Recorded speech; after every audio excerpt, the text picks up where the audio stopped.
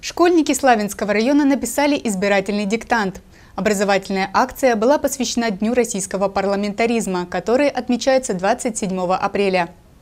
В акции «Избирательный диктант» приняли участие старшеклассники 16 и 18 школ, а также студенты техникумов. За 60 минут каждый выполнил 40 заданий. Несмотря на относительную сложность вопросов, ребята вполне успешно справились с работой. Организаторами акции выступили Славянская территориальная избирательная комиссия и Управление образования.